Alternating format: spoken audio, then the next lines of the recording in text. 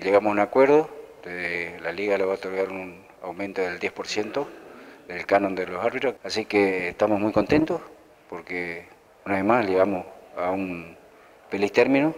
Agradecemos la, buena predisposición que ha tenido la dirigencia del Sadra para que esto este, redunde en beneficio del, fútbol posadeño. ¿Va a comenzar entonces el torneo en tiempo y forma? Va a comenzar el torneo en tiempo y forma, este, de la forma que ya hemos este, eh, comunicado. En lo que va del año nosotros estaríamos llegando a un 30%.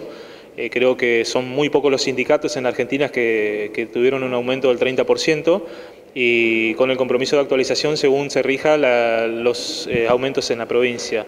Y, bueno, y poner en, manifiesto que de nuestra parte y de parte de la Liga nunca estuvo en, duda el comienzo del torneo.